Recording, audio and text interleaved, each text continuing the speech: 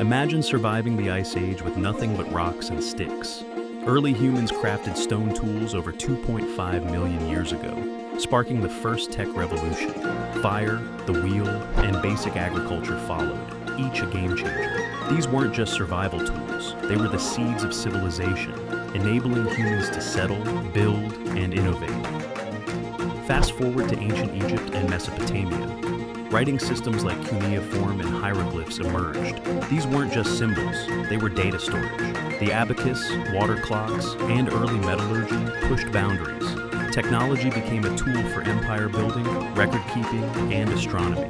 Knowledge was no longer oral, it was etched in stone, literally. The Industrial Revolution flipped the script.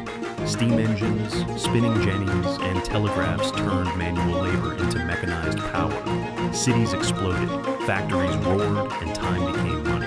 For the first time, technology wasn't just about survival, it was about speed, scale, and profit. The world shrank as railroads and cables connected continents. Now we carry supercomputers in our pockets. The digital age brought us the internet, AI, and quantum computing, but it all started with fire and flint. Each leap in tech builds on the last, accelerating faster than ever. The question isn't what's next, it's whether we're ready for it when it arrives.